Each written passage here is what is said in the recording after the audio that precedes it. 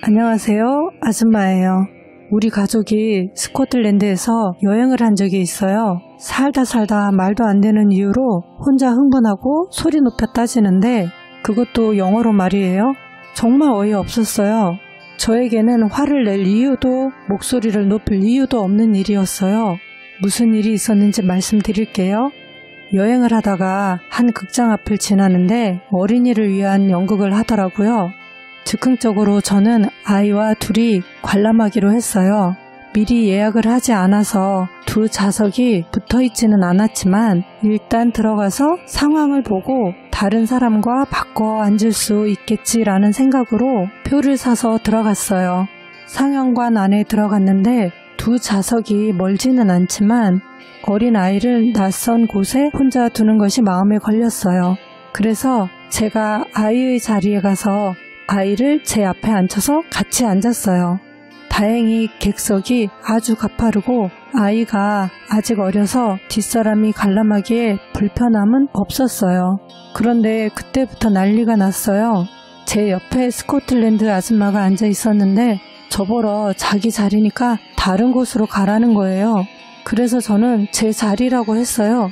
그랬더니 큰 소리로 자기가 자기 엄마와 편히 앉으려고 좌석 3개를 예매했다며 그 자리도 자기네 자리라고 하더라고요. 혹시나 하여 제 표를 확인해 봤는데 제 자리가 맞더라고요. 그 스코틀랜드 아줌마 옆에는 할머니 한 분이 계셨는데 한쪽은 딸이고 다른 쪽은 통로 쪽이라 편안히 앉아 계시더라고요.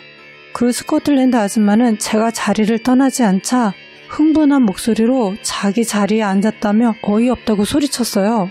그 아줌마가 어이없어 하거나 말거나 저는 제 자리가 맞으니 그 자리를 떠날 이유가 없었어요. 그리고 좌석에 이상이 있으면 극장 측에 물어보면 될 것을 흥분하고 소리 지르는 그녀의 언행이 저는 어이가 없었어요. 연극이 곧 시작되어 좌석에 대해서 뭔가 해볼 시간이 없었어요. 그냥 그 자리에서 저는 아이와 관람을 했어요. 일부 공연이 끝나고 휴식 시간이 되었을 때 저는 그 아줌마에게 제 티켓을 보여주며 그녀의 티켓도 보여달라고 했어요. 그녀의 티켓도 제 티켓과 똑같더라고요. 그래서 제가 극장 측에 물어보고 오겠다며 제 티켓을 갖고 직원에게 갔어요. 직원에게 자초지정을 말했더니 같이 그 아줌마에게 가자고 하더라고요. 그 아줌마는 그 직원을 보자마자 다시 흥분한 상태로 큰 소리로 저에 대해 말을 했어요. 저 여자가 내 자리에 앉았어요. 자기 자리도 아닌데 떠나지도 않고 계속 앉아 있어요. 정말 어처구니가 없어요. 등등등등. 직원이 왔으면 서로 상황 파악을 해야지 자기 감정 전달만 하더라고요. 그 아줌마가 하도 정신없이 계속 고성을 지르니 직원이 저더러 나가서 얘기하자고 하더라고요. 그리고 직원이 하는 말이 자기는 표에 대해서 알아볼 테니 저는 2부 공연 관람도 그 자리에서 해도 괜찮다고 했어요. 그래서 2부 공연도 우리는 그 자리에서 관람했어요. 2부 공연이 끝나자 그 아줌마는 바로 나갔어요. 그리고 저도 일어나려는데 갑자기 앞좌석의 한 스코틀랜드 아줌마가 뒤로 몸을 돌리더니 얼굴을 제 쪽으로 가까이 내밀더라고요. 순간 아 이거 2차전인가? 뭐지? 라고 생각하는데 아주 차분한 톤으로 그리고 정말 미안하다는 표정으로 저에게 말을 했어요. 모든 스코틀랜드의 여자들이 다 저 아줌마 같다고 생각하지 말아주세요. 그리고 나는 당신이 이 연극을 잘 즐겼기를 진심으로 바래요. 라고요. 그리고 그 옆에 아줌마도 다른 사람들도 미안하다는 표정과 부드러운 미소를 우리에게 보내주셨어요. 우리 아이에게도 연극 잘 봤니? 재미있었니? 라고 챙겨서 물어봐 주셨고요. 저는 잘 봤다고 고맙다고 인사를 하고 우리도 상영관을 나왔어요. 상영관 밖에서 아까 그 직원이 우리를 기다리고 있더라고요. 아까 소리 지르던 스코틀랜드 아줌마는 원래 좌석 3개를 예약했다가 하나를 취소했다고 설명하고는 그런 상황에 대해서 유감을 표했어요.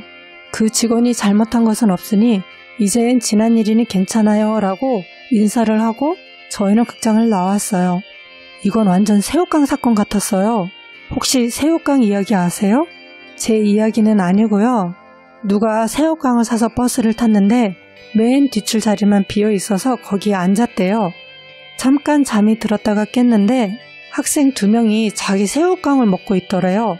너무 어이가 없었지만 애들이니까 봐주기로 마음 먹었지만 자기 새우깡이니 자기도 같이 먹었대요.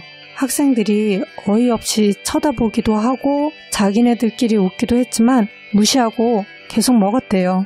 버스에서 내린 후에 집으로 가는 길에 뭔가를 꺼내려고 가방에 손을 넣었는데 새우깡 봉지가 만지키더라는 거예요. 꺼내보니 정말 새우깡이었대요. 생각해보니까 잠들기 직전에 새우깡을 가방에 넣었던 기억이 났대요. 차에서 먹은 새우깡은 학생들 것이었어요.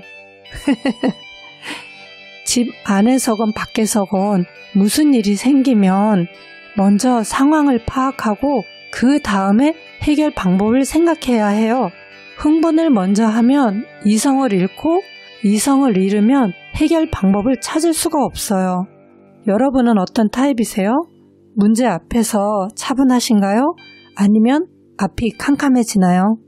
오늘 제 이야기는 여기까지입니다.